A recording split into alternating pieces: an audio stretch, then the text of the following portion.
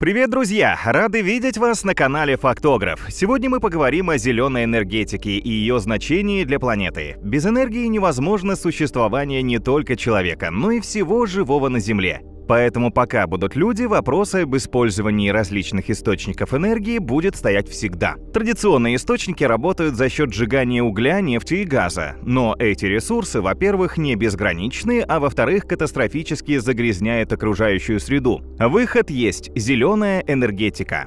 Но является ли зеленая энергетика хорошей заменой нефти и углю? Какими преимуществами и недостатками она обладает? Почему зеленая энергетика имеет множество противников? Какие убеждения об этом источнике энергии являются мифом, а какие – реальностью? Давайте разбираться. Зеленая энергетика или регенеративная энергетика – это энергия, полученная из природных, возобновляемых и неисчерпаемых источников. Принцип использования зеленой энергии заключается в ее извлечении из возобновляемых органических ресурсов с последующим техническим применением. Возобновляемые источники энергии – это совокупность природных ресурсов, из которых производится электро- и тепловая энергия. Длительная эксплуатация этих источников не приводит к дефициту, ведь их регенерация происходит достаточно быстро. Наиболее популярными источниками зеленой энергии являются вода, ветер и солнце. Использование возобновляемых источников энергии является весьма инновационным направлением и оказывает минимальное влияние на окружающую среду. Но вправду ли все так хорошо, как нам рассказывают? Или все же есть подводные камни? Многие страны мира хоть и стараются переходить на возобновляемые источники энергии, но все же большая часть электроэнергии вырабатывается за счет сжигания ископаемого сырья – угля, нефти и газа. Но почему в ближайшем будущем от них необходимо отказываться? На это есть две основные причины. Первое – полезные ископаемые когда-то закончатся, и человечеству все равно придется осваивать новые источники энергии. Чем раньше начнется переход, тем лучше. Вторая – сжигание угля, нефти и газа приводит к колоссальным выбросам углекислого газа и других вредных веществ. Они загрязняют воздух, почву, воду и способствуют глобальному потеплению. Поэтому прекрасной альтернативой ископаемому топливу стали возобновляемые источники энергии, которые не подразумевают загрязнение атмосферы. Наиболее популярным видом зеленой энергии в 20 веке было электричество, полученное благодаря гидроэлектростанциям. В это время был бум на сооружение ГЭС. С наступлением нового тысячелетия стали стремительно развиваться ветровые и солнечные электростанции.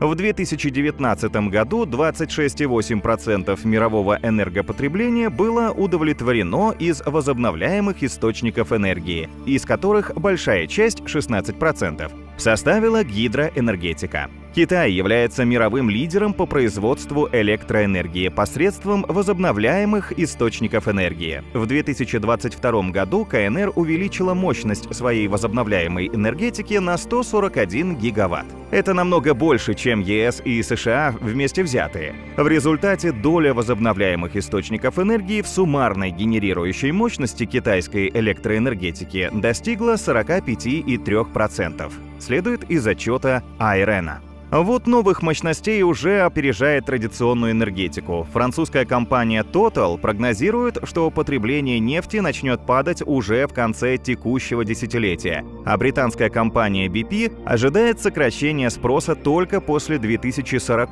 года. Авторы исследования, проведенного организацией Ember и 3G, пришли к выводу, что Европейский Союз за последние годы также повысил выработку ветряной и солнечной электроэнергии как еще никогда раньше. Если тенденция к развитию возобновляемых источников энергии продолжится, то потребность в угле, нефти и природном газе значительно снижится. Возможно, через несколько десятилетий и вовсе получится полностью отказаться от углеводородов и, как следствие, сберечь экологию и сэкономить миллиарды евро. То, что еще недавно казалось фантастикой, становится реальностью. Но почему при наличии очевидных преимуществ зеленая энергетика имеет множество противников? Возобновляемые источники источники энергии — это не просто современный тренд, а реальный шанс остановить катастрофическое изменение климата. Европейское зеленое соглашение European Green Deal и стратегия восстановления ЕС одноголосно признают зеленый переход главным двигателем экономического восстановления и будущего роста и процветания Европы. И в то время как одни считают зеленую энергетику панацеей, другие называют ее мечтой хиппи. Давайте рассмотрим самые популярные утверждения о возобновляемых источниках энергии и попробуем разобраться, кто прав, а кто нет. Первое. Зеленая энергетика слишком дорогая и недоступна всем. Еще лет 10-15 назад зеленая энергетика была развлечением для богатых и обеспеченных государств. Ведь стоимость энергии, вырабатываемой ветряками и солнечными электростанциями, была намного меньше энергии, полученной от сжигания ископаемого сырья. Но сегодня альтернативная энергетика стала достойным конкурентом традиционной. Только с 2010 по 2018 год оборудование для альтернативной энергетики в мире подешевело в среднем на 25%, и цена продолжает падать. Снизилась стоимость не только станций, но и вырабатываемой ими электроэнергии. Как так вышло? Во-первых, ветер и солнце – это местный ресурс, и его не нужно импортировать. Электроэнергию можно производить практически в любой точке Земли и не тратить деньги на транспортировку. Во-вторых, товары, произведенные с помощью зеленой электроэнергии, не облагаются налогом на выбросы углерода. В-третьих, зеленая энергетика привлекает все больше инвестиций, что способствует ее окупаемости и стабильному развитию. Экономическая эффективность альтернативной энергетики подтверждается как на примере высокоразвитых, так и развивающихся государств.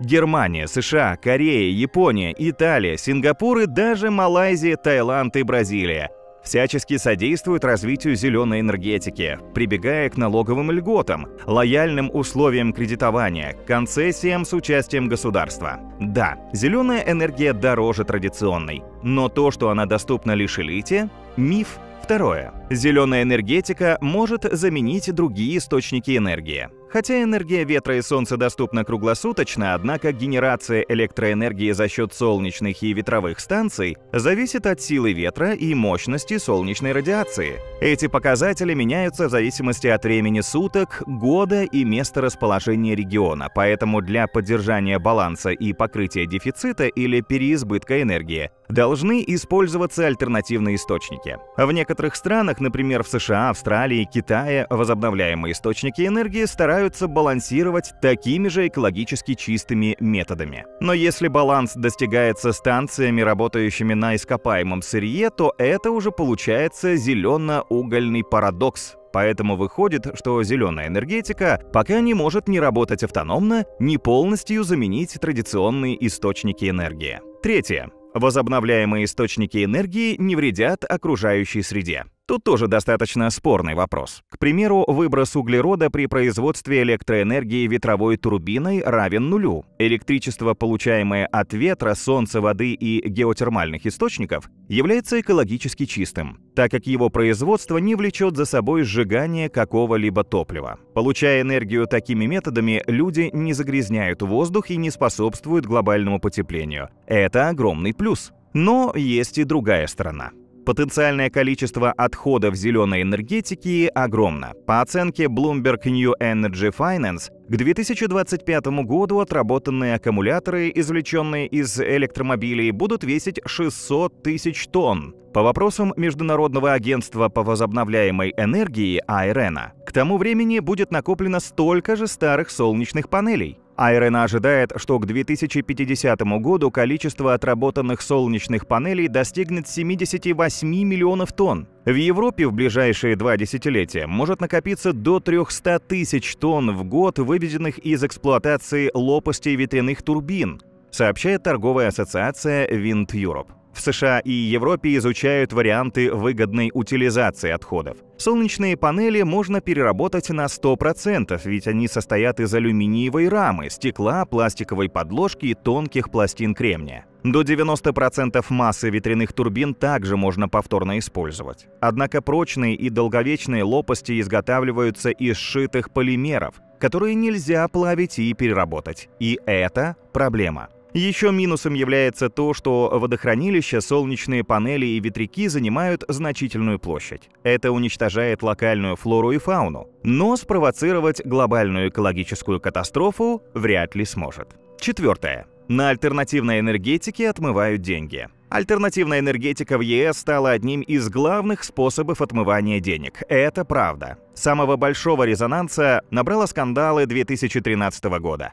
В то время инвестиции в зеленую энергетику все активнее использовались итальянской мафией для легализации средств, нажитых преступным путем. Легче всего мафиози удавалось зарабатывать на ветряных электростанциях.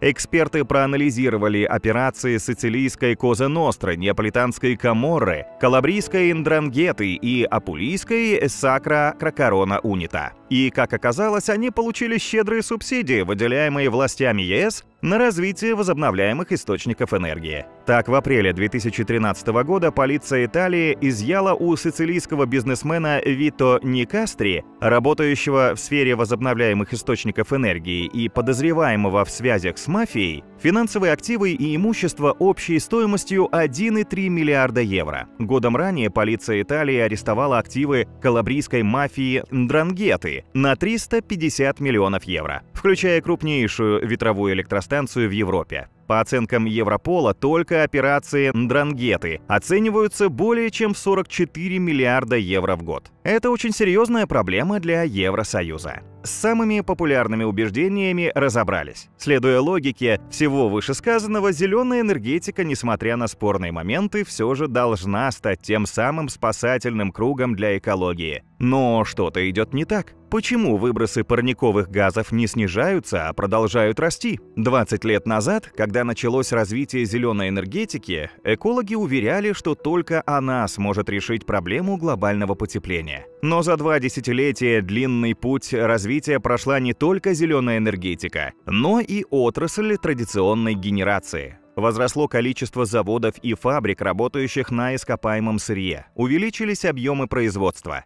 Параллельно с экологичным все страны развивают стабильное традиционное производство энергии, работающее за счет сжигания угля и нефтегазовых продуктов. Их производство ежегодно растет. Такие данные указаны в отчете компании British Petroleum. В настоящее время на возобновляемые источники энергии приходится лишь около 30% мирового производства электроэнергии. К 2030 году эта цифра должна вырасти до 30-45%. А это еще долгий путь. Ведь мир едва сдвинулся с мертвой точки. Большинство стран взяло на себя обязательство ближайшие десятилетия достигнуть углеродной нейтральности, то есть полностью прекратить выбросы парниковых газов. Пока будут выбросы, Земля продолжит нагреваться. Концентрация в атмосфере парниковых газов должна стабилизироваться и перестать стремительно расти. Как думаете, у людей получится это сделать? И считаете ли вы зеленую энергетику спасением для планеты? Пишите свое мнение в комментариях.